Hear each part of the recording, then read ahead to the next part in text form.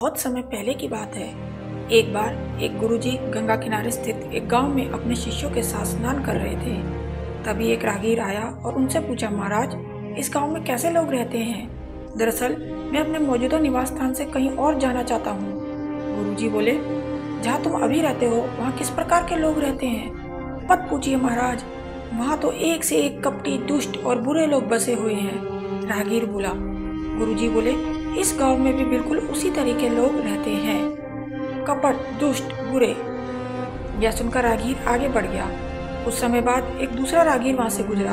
उसने भी गुरु जी से वही प्रश्न पूछा, मुझे किसी नई जगह में रहना है। क्या आप बता सकते हैं कि इस गाँव में कैसे लोग रहते हैं? जहाँ तुम अभी निवास करते हो, वहाँ किस प्रकार के लोग रहते हैं? गुरुजी ने इस रागीर से भी वही प्रश्न पूछा।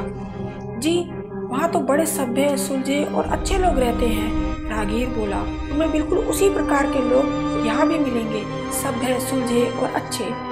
गुरुजी ने अपनी बात पूर्ण की और दैनिक कार्यों में लग गए, पर उनके शिष्य ये सब देख रहे थे और रागीर के जाते ही उन्होंने पूछा, क्षमा कीजिए गुरुजी, पर आपने दोनों रागीरों को एक ही स्थान के बारे में अलग अलग बातें क्यों बताई?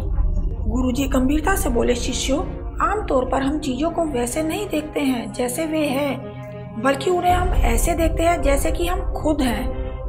हर जगह, हर प्रकार के लोग रहते हैं। ये हम पर निर्भर करता है कि हम किस तरीके के लोगों को देखना चाहते हैं। शिष्य उनकी बात समझ चुके थे और आगे से उन्होंने जीवन में सिर्फ़ अच्छाइयों पर ही ध्यान केंद्रित करने का निश्चय किया।